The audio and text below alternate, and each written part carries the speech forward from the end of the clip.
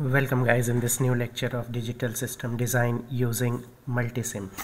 In this lecture we are going to see how to design 4-bit serial in serial out shift register. Now you can see the diagram of a 3-bit serial in serial out shift register. This is using D flip-flop and it is positive edge triggered clock.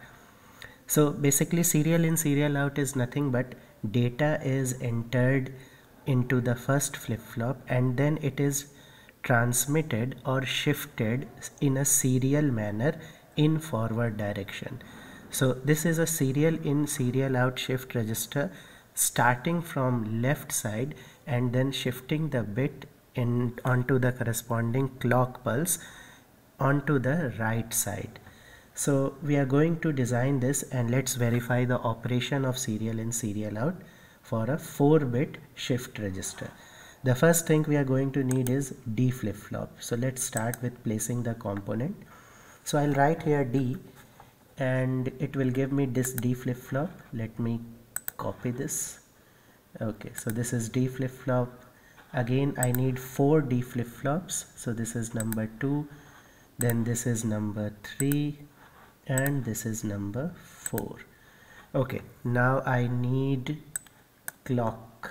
So I'll write I'll go to this source digital sources interactive digital constant. This will be the input that I'll be needing in the first flip-flop and the clock input for the clock pulse.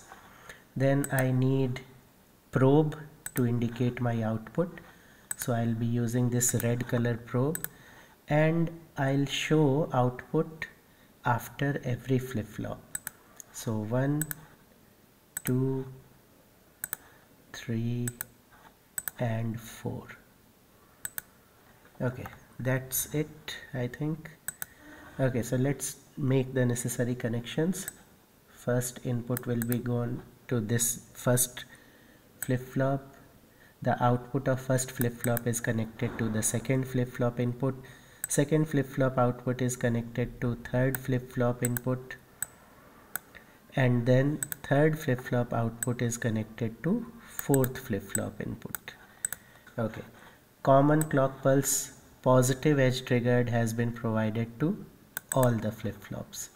So this is synchronous shift register. Because same clock pulse is going into all the flip-flops. Set and reset inputs for the time being let's make it as it is. Let it be disconnected.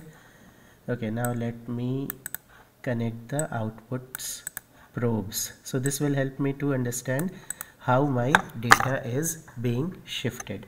Now what I'll do I'll change this clock pulse to 10 so that you can visualize the bits movement or bits shifting.